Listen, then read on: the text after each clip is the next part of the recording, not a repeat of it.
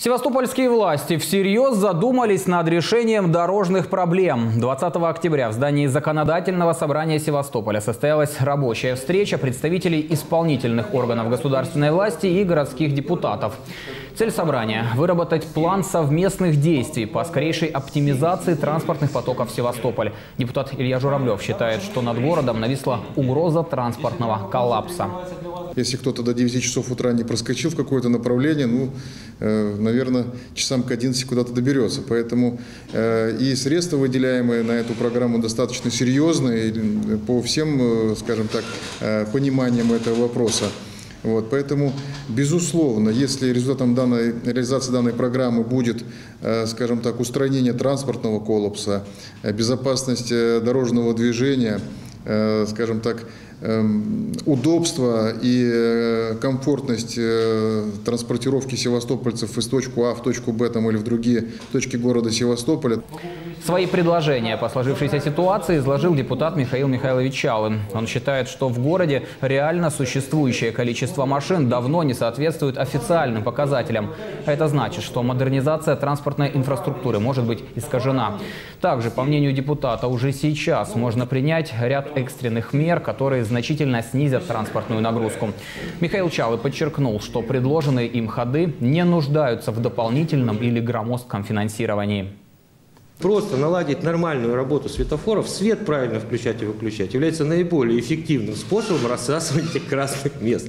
Это денег не требует, ну, можно сказать, совсем.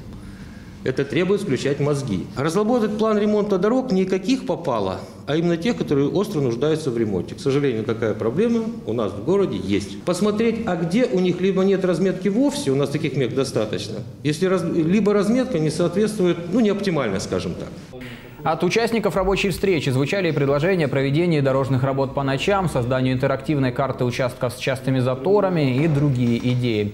Депутаты обратили внимание чиновников на состояние дорожной инфраструктуры в сельской местности. Недооборудованы остановки, нет знаков, ни осторожно дети, ни место перехода скота. Из-за этого э, риски аварии возрастают. Вот, нет лежачих полицейских, хотя это необходимо. Предложенные идеи взяли на вооружение в Департаменте транспорта и развития дорожно-транспортной инфраструктуры правительства Севастополя. Решение проблем э, мы видим э, в двух направлениях.